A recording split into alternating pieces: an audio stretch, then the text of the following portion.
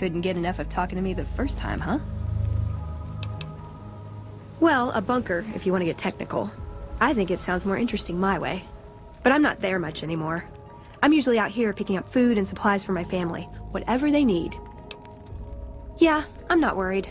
They can handle themselves. But somebody has to get the groceries, know what I mean?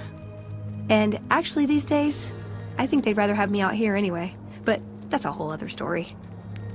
So, listen, can I ask you something on the level? I had a run in with this group calling themselves the Brotherhood of Steel. Pretty strange bunch. Do you know anything about them? Looking for trouble? Got no time or answers for you. Ask a drifter in need of a few caps. They'll give you all the answers you need. All right? No, I'm not all right. Drinking to forget, and it's only getting me mad instead.